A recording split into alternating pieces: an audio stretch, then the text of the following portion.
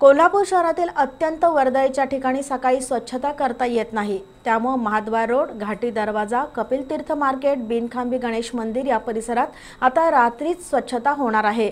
काही व्यापारी आणि फेरीवाले रात्री घरी जाताना रस्त्यावरच कचरा आणि प्लास्टिक टाकतात.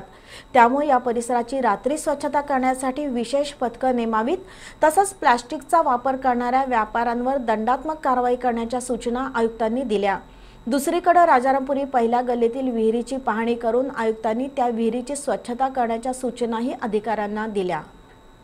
महाद्वार रोड घाटी दरवाजा कपिल तीर्थ मार्केट बिंखांबी गणेश मंदिर या परिसरामधील व्यापारी आणि फेरीवाले रात्री रस्त्यावरच कचरा आणि प्लास्टिक टाकत असल्यानं अस्वच्छतेमध्ये भर पडतीये. त्या अनुषंगानं महापालिका आयुक्त डॉक्टर मल्लीनाथ कलशेट्टी यांनी आज या ठिकाणी भेट दिली. या परिसरात रात्रीच्या वेळी स्वच्छता करण्यासाठी विशेष पथकं नेमण्याच्या सूचना त्यांनी अधिकाऱ्यांना दिल्या.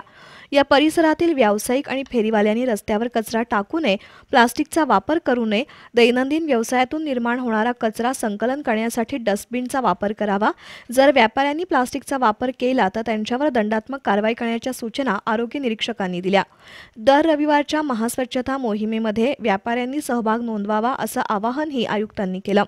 दरम्यान ई वॉर्डातील आरोग्य निरीक्षक सुशांत कावडे हे कामाच्या वेळेत महाद्वार रोडवर नसल्यानं त्यांना एक हजार रुपयांचा दंड करण्याचा आदेश आयुक्तांनी दिला.